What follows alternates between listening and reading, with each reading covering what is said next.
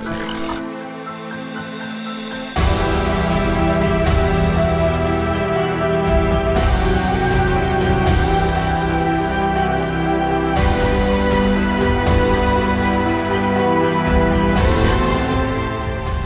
infancia llena de juegos, diversión y muchas travesuras.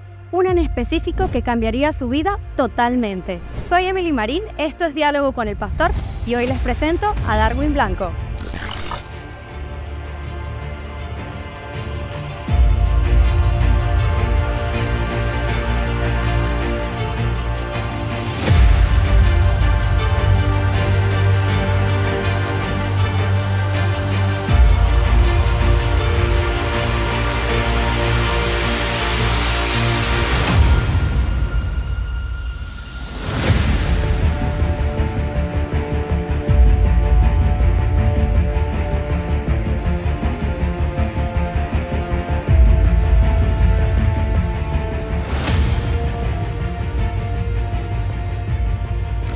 Sí pasamos nosotros bastante necesidad, porque mi madre no trabajaba, mis hermanos este, tampoco había ese empleo, porque vengo del estado Sucre, de un pueblo de Manacoa, un pueblo muy bonito, y ahí nos criamos. Pero mi mamá lo que conseguía prácticamente era para comer, a veces, a veces llegaban momentos que nos acostábamos sin, sin comer. Y era fuerte para mi familia, para nosotros, y viendo, viéndolo, no, este, a mi madre, cómo ella buscaba la manera de alimentar. Eh, vivimos en esa, o sea, eh, una historia bastante fuerte. Pero ella tenía algo, ella, ella tenía algo que ella siempre decía, que ella no quisiera tener, eh, no, siempre decía, no quisiera tener ni mucho, ni tampoco menos. O sea, porque ella decía que si le, si le daba mucho, si tenía mucho, se podía engrandecer. Esa era su, su, su forma de, de, de, de, vida. Pues. Bueno, mi abuelo, él le gustaba sembrar. En, en, el patio de la casa había un terreno y ahí, bueno, él siempre se iba a sembrar y yo siempre lo acompañaba. De los 11 hermanos que éramos, yo era el, el único que iba, lo ayudaba a sembrar y eso me quedó prácticamente grabado, grabado y aprendí mucho de mi abuelo. Él murió y yo seguí sembrando. Y más, me la mantenía, cuando no en el Conoco, era en una cancha. Y cuando en una cancha, en una, en una, en una calle, jugando fútbol, jugando béisbol. Era mi, mi, mi infancia pues, en ese tiempo. Bueno, en sí, en realidad yo no, no, nunca pensé ser cristiano. Porque en el barrio, prácticamente en ese contorno que vivíamos, eh, este, era un barrio que verdaderamente no había jóvenes cristianos. No, no, no, conocí cristianos en esa, en esa época, ¿verdad? En mi barrio. Y prácticamente nos criamos de, de, otra, de otra manera. De otra manera. Este, incluso cuando, cuando yo recibí a Cristo, ¿verdad? Eh, recuerdo que estaba predicando un pastor, ¿verdad? Él predicó dos semanas de campaña. Nosotros nos acercamos de lejos, porque prácticamente nos gustaba el sonido, pero de lejos. Y, pero termina esa campaña, nuevamente se hace lo que llamamos la congregación. El otro día la pastora Lorena Montoya, ella fue el otro día, un día lunes, a hacer, a hacer congregación, después de la campaña. Y ella comenzó allá a, a, llamar, después que predicó, comenzó a hacer llamados. Y los amigos míos vieron que a mí no me llamaron, porque en ese tiempo verdaderamente que yo era bastante penoso. Y ellos comenzaron a gritar, a gritar, pastora, aquí está uno que usted nos llamó. Y me agarraron uno por las manos, uno, uno por detrás. Yo recuerdo que atrás me agarró una muchacha y me empujaron hasta allá. Pero mi mente no era servir a Dios. Mi mente era, yo iba, mientras iba caminando, mi mente era, voy a pasar para que ellos dejen el fastidio, o sea, mis amigos. Pues. Pero no era mi intención seguir el Evangelio. ¿eh? Sin embargo, bueno, este, Dios hace como Él quiere. Al otro día, mayor sorpresa, me encontraba a las 4 de la tarde jugando en la cancha, por cierto, basquetbol. Y una de las muchachas que me, me, empujó, ella va a la cancha y me llama, Darwin, te llaman. Y yo le, gritaba de allá, oye, deja el fastidio, ¿vale? Deja el fastidio. Y ella no se bastó con eso, sino que vino y se llevó a la hermana a la cancha. Cuando vi a esa hermana, yo enseguida dije, no, yo tengo que entregar esto.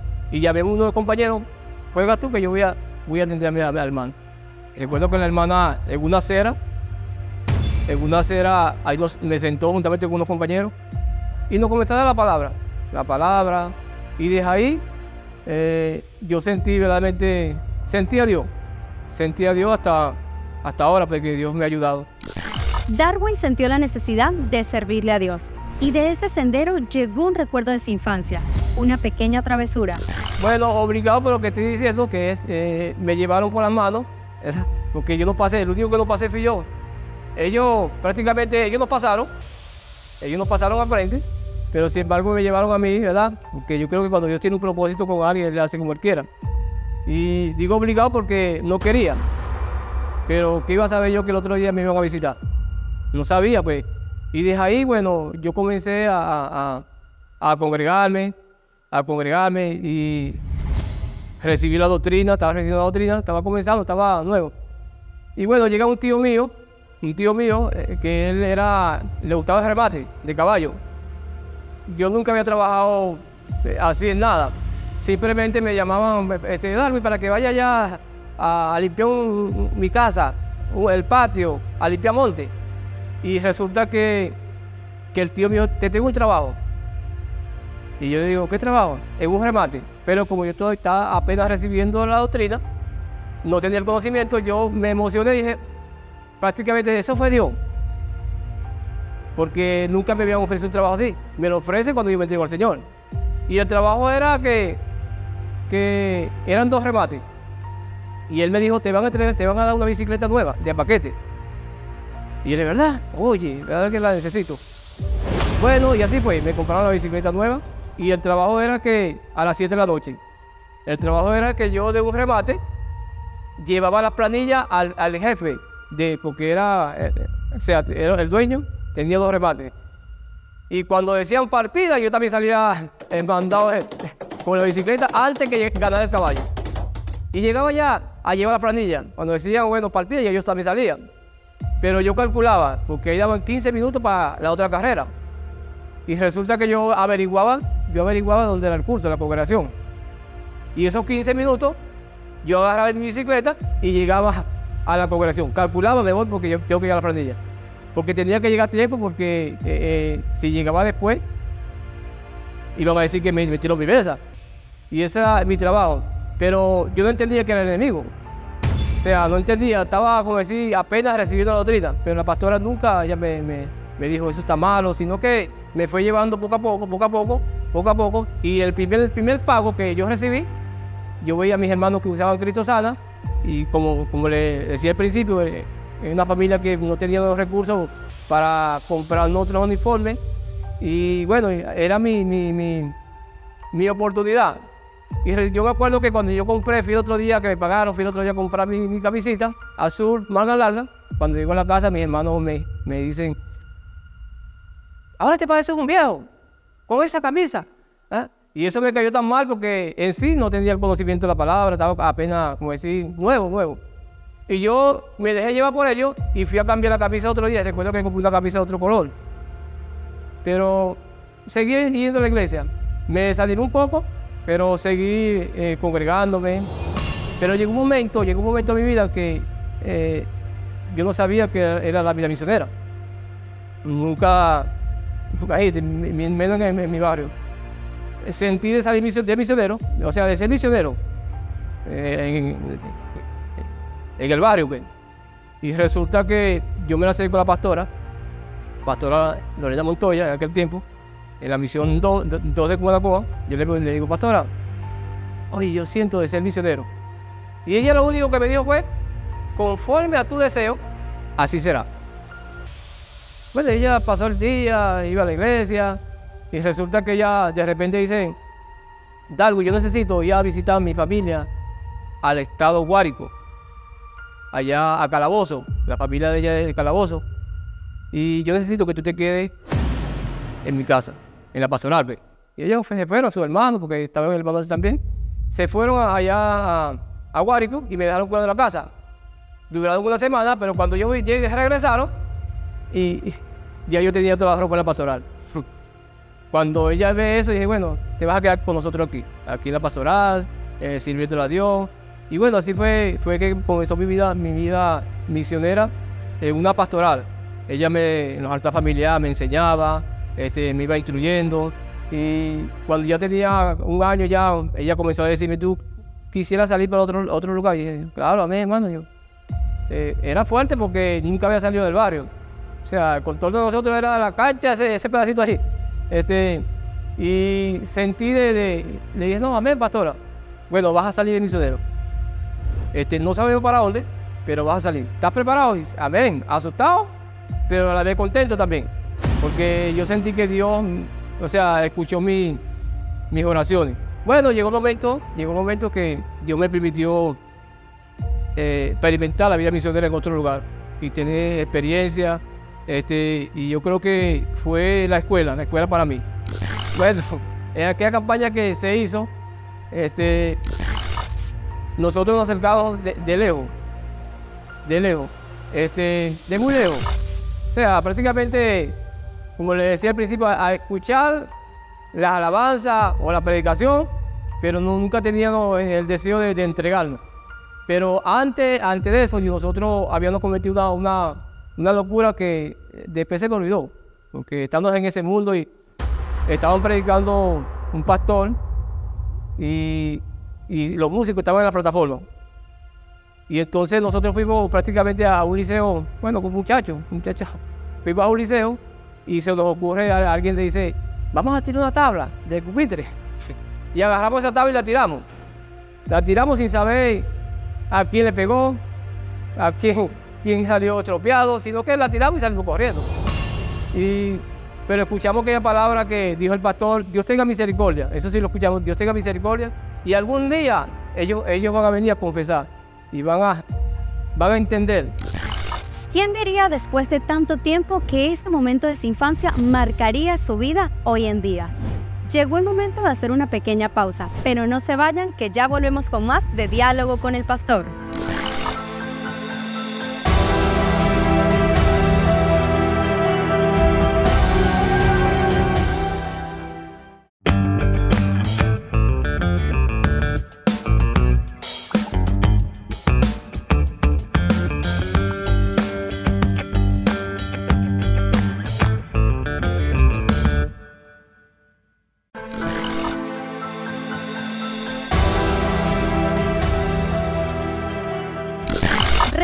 Con más de diálogo con el pastor. Darwin, nuestro protagonista de hoy, pasó por un suceso en su vida que le costaría mucho. Ahí experimenté, ¿verdad? Experiencias que marcaron mi vida.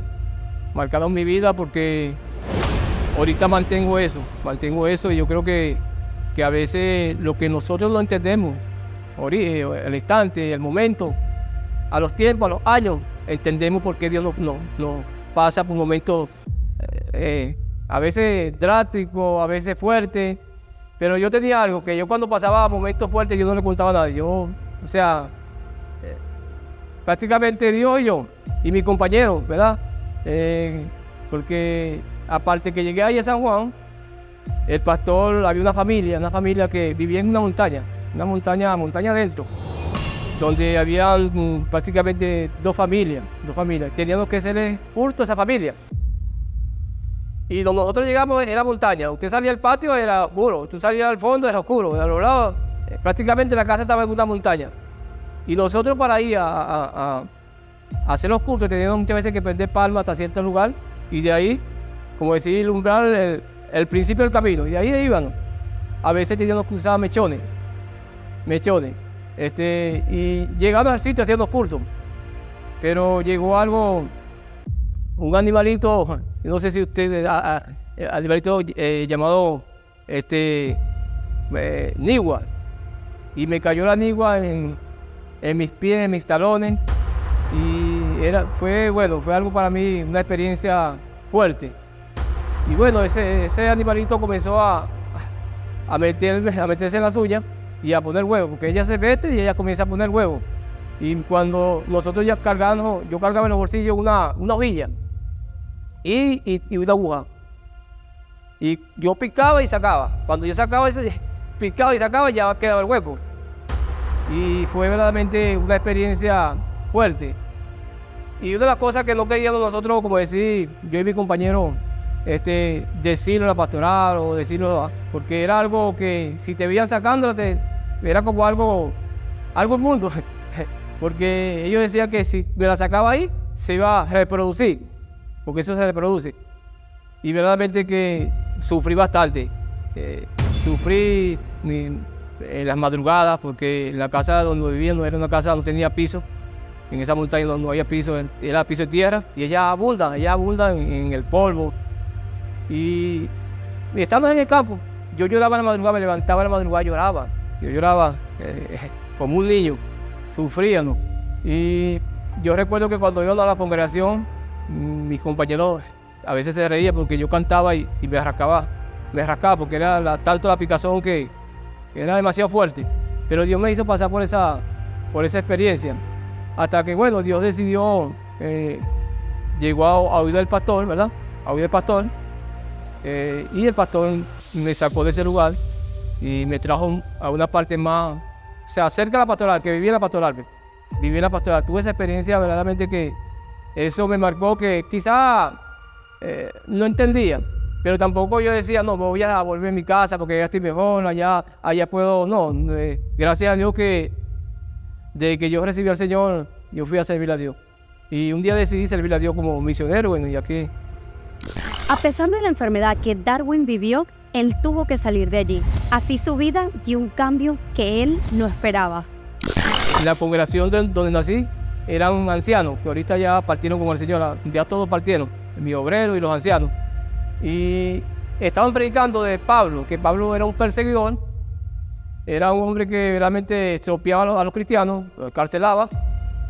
Y de repente sale una, una anciana y dice, con aquella voz, ¡ah! Así como la otra vez que estaba mi hijo Narcisito cantando con la guitarra y el pastor Richard Blanco este, predicando, evangelista, el tipo evangelista, evangelista Richard Blanco, y sale esa tabla, y gracias a Dios no le pegó. Pero yo al instante no, no, no capté, o sea, la pregunta, pero como al minuto yo dije, ah, eso fui yo. Eso fui yo. Y no encontraba, quería como irme, quería como, como, como desaparecerme, hasta que yo, como ella estaba en lo mío, yo le digo, hermana, ¿a qué tipo? Hermana Sabina, eso fui yo. Cuando yo le digo a ella, ella dice, aquí está el pecador, aquí está confesado. Y eso, bueno, yo me, me, asusté. Y bueno, así fue que, que, que recibí esa, confesé pues, en una congregación. Bueno, este, fuerte de la forma que, como yo decía, eh, en mi, en mi infancia, o sea, yo una cancha libre, ¿verdad? Iba y no tenía tantos problemas, este, pero sin embargo cuando llego ¿verdad? Al Evangelio me presento, ¿verdad? Si esa experiencia, ¿verdad? Esa experiencia que yo digo que es una experiencia que para mí ha sido de mucha ayuda, porque hoy puedo entender, ¿verdad? Que Dios es bueno y Dios no olvida, Dios no olvida. Este, y no fuerte porque sí, sea muchacho joven, 19 eh, eh, años, 20 eh, años, ¿verdad? Y bueno, como dice por ahí, pude soportar y, y hoy en día, bueno, Dios me ha, ayudado. Nosotros, o sea, nunca le dimos ocasión a las personas, como le digo, eso lo tenían en los pies. Nosotros vivíamos prácticamente en el lugar de terreno, vivíamos prácticamente con la con el pantalón en la rodilla y lleno de gasoil. Así vivíamos nosotros, mi compañero y mi persona, porque el gasoil, como decía, las la, la, Y vivíamos así, pero cuando ya salíamos a la misión, ya traíamos el, pantalón ya este, completo. Y nunca le dimos ocasión de las personas que teníamos. Este, a veces teníamos que sacarlo cuando escondido y no dimos ocasión. O sea, preferimos nosotros soportar, eh, sufrir y no enfermar a otras personas, ¿verdad? Uno de la familia que vivía en la casa, nosotros llegamos, a él lo tuvieron que llevar prácticamente sin caminar, porque en sí ya yo, ya, yo caminaba recto, porque a mí me cae, me voló la suya, a mí me voló la suya y el talón. Este, y prácticamente a mí ya no, no trataba de hacer el esfuerzo para que la gente no me viera, como le explicaba. Y realmente que era un sufrimiento porque eh, la picazón era demasiado fuerte, demasiado fuerte. Fuerte porque incluso cuando yo cantaba con el cuatro, era incómodo, yo, yo me tenía que eh, arrastrar con el pie con la, pared, cantando, este, con pena y todo, pues lo hacía. Allá sí sabía, allá sí sabía porque iba y, y, lo más terrible es que las personas ahí no, le caían. No le caían esas niguas. Y había, yo recuerdo que habían dos perros y los perros se los comieron prácticamente las niguas vivos. Murieron. Murieron porque las niguas mató. Pues. Bueno, recibo la sanidad porque me sacan, llegó la oportunidad que el pastor me, me saca del lugar y me mandó a otra congregación donde no había. Y ya las que tenía yo me las me la, me la sacaba. Yo recuerdo que la última que me saqué en una uña, eso era un hueco demasiado hondo. Y ya prácticamente ya no estaba en el lugar donde había la mina, porque esa es una mina que había ahí. que eso que no se ve, yo la veía. ¿eh? Entonces cuando me mandan para la congregación, en la otra congregación, ya prácticamente no hay nigua y la que tenía yo eh, me la sacaba y, y, fue que Dios fue como sanando esas esa heridas y en los talones y en las uñas. Pero una experiencia muy bonita. Eh, una experiencia muy bonita porque este, ellos me contaban sus su, experiencias. Y yo siempre le doy gracias a Dios por eso. Le doy gracias a Dios y siempre donde estoy le doy gracias a Dios a los ancianos. Porque cuando yo me veía medio desanimadito, ellos me, me, daban de su experiencia. Y siempre digo que las experiencias nos enseñan. O sea, hay gente que tiene experiencia que, han, que han recurrido, eh, eh, han caminado más que nosotros ha caminado más que nosotros y, le doy gracias a Dios por esos ancianos que verdaderamente fueron de mucha ayuda, de mucha ayuda en, esa, en la congregación y en mi vida espiritual, en mi vida espiritual. A mi esposa yo la conocí eh, en el estado Guarín, un buen encuentro que hubo de jóvenes, este hermano Giancarlo García, y bueno, el pastor Alfredo nos, dio esa, esa oportunidad de ir a ese encuentro. Y bueno, ahí solamente la conocí. La conocí este, y hasta ahí llegó todo. O sea, la conocí, nos vinimos, ya vive en Barcelona, vive en Barcelona. Y ya yo, ya yo era pastor, era misionero. Era misionero, cuando yo lo conocí era misionero. Pero como le digo, como yo tuve la vida misionera, no solamente allá, sino que Dios me también de ahí me mandó para allá para Cantabra, estaba en Suátiqui. Y de allá fue que me mandaron para acá, para la Misión 1. Luego estoy en la congregación y él dice, él me dice, él me dice, este, eso va, se va a fundar misión. Puede ser tú o puede ser otro, pero trabaja, trabaja ahí como si fuera tú que va a quedar. Y yo estaba trabajando, estaba trabajando aquí como, como pastor. Y llegó el momento que el pastor dice, te vamos a unir como pastor en la misión. Y bueno, me, prácticamente me instalaron solo, eh, soltero. Y al año, al año, bueno, nació, recordé, recordé que había conocido a mi, a mi esposa, ¿verdad? En los altas familiares, me voy a preguntar, ¿tú no tienes novia? Llegó un momento que le dije, sí, pastor. O sea, no, no, eh, no que, sino que me, me gusta la persona, yo le digo. Y él me pregunta, me dice, ¿pero quién? Bueno, una hermana, una hermana que yo conocí en, en y él me dice, ¿quién es esa persona? Ella se congrega en la misión 3 de Racetti. Y él me dice, ¿quién es esa persona? Y digo, bueno, se llaman Keila. Y él me dice, ah, yo la conozco, es una buena muchacha. Y bueno, cuando él me da el visto bueno, yo agarro un teléfono que cargaba, un teléfono grande, todo. Y la llamé y le dice, y le, y le hermano, yo necesito hablar con usted. Y lo, lo, que le dije fue, yo gusto de usted. Y ella me dijo, bueno, hermano, ¿y cómo es eso? Me sorprende. Órale a Dios. Órale a Dios. Y bueno, de ahí ahora Dios se fue dando, dando poco a poco. Y bueno, ahorita este, nos casamos, una bendición, una una ayuda verdaderamente que lo que me falta a mí lo tiene ella y lo que le falta a ella lo tengo yo. Y es por eso que Dios nos ha, nos ha honrado pues, por este matrimonio y ha sido una bendición. Bueno, cuando me instalan aquí, me entregan unos ancianos. Me entregan, como cosa me entregan cuatro ancianos, que yo consideraba esos ancianos como 100 personas. Y prácticamente lo que hemos logrado aquí eh, es gracias a esos ancianos, esos cuatro ancianos, que me ayudaron, nunca, nunca me dijeron no, nunca dijeron no se puede, sino que ellos, este es un terreno, un terreno ocioso, un terreno prácticamente que no tenía, tuvimos que rellenarlo. Muchas puertas se cierran a lo largo de nuestra vida, Pero Dios se encarga de abrirnos muchos más, porque Él es el que guía, el que obra, el que sana y el que crea. Yo siempre tengo esto y le digo a, mi, a mis obreros, uno como pastor tiene que mantenerse ocupado. Mientras a mí más me ocupe, mucho mejor yo me siento, porque eh, el sentirse desocupado es una mente ociosa. Es una mente ociosa. Eh, incluso cuando yo era misionero, yo siempre cuando no estaba leyendo, no estaba, estaba, estaba, orando, no estaba orando, estaba limpiando, porque siempre me ha gustado ese movimiento, porque he entendido que, que la obra evangélica del mundo es una obra misionera. Y, mayor apoyo fue que Dios me llevó a tres pastores siendo misionero, y eso me ayudó mucho. Sus experiencias me, ayudaron mucho, su entorno, su, consejo. Bueno, yo le doy mensaje mayormente a, la juventud, ¿verdad? Eh, hay, jóvenes que verdaderamente no le sirven a Dios por su, porque son jóvenes, quieren disfrutar. Pero yo digo que si yo volviera a nacer, yo escogería eh, ser cristiano. Si volviera a nacer, escogería la vida misionera, porque es una vida bonita, una vida, la vida misionera, este, no me arrepiento de, de servirle a Dios. Y les aconsejo a los jóvenes que mejor es servirle a Dios servirle a Dios, porque el servirle a Dios tenemos garantía. Tenemos garantía, una, la vida eterna y los beneficios que Dios nos da aquí en la tierra. ¿Ves?